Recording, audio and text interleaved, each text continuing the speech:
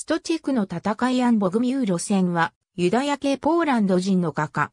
戦争画の作品で知られている。息子に、壁画家、モザイク画家のヤン・ヘンリックで路線がいる。路線の成果は、カルバン派に改修した裕福なユダヤ人家庭だった。ただし、路線は、後にルター派に改修している。若い頃から絵の才能を発揮し、フランツシェク・コストジェフスキの教えを受けた。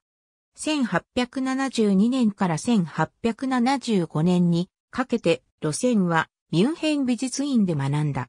ミュンヘンではポーランド出身の戦争画家ユゼフ・ブーラントにも指示した。その後、4年間をパリのエコールでボザールで過ごし、ジャン・レオン・ジェロームやイシドール・ピルスに学んだ。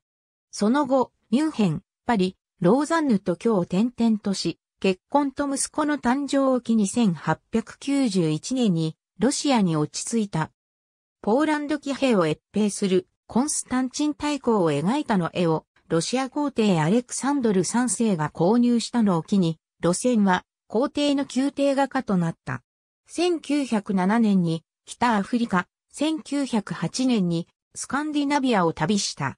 ポーランドソビエト戦争が終結した後の1921年、ようやく故国ポーランドに帰った。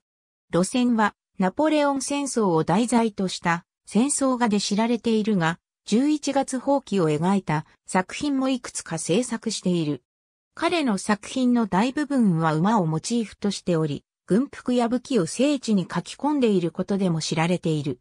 しかし一方で、彼の作品は歴史を教える以上の役には立たないという批判もある。ありがとうございます。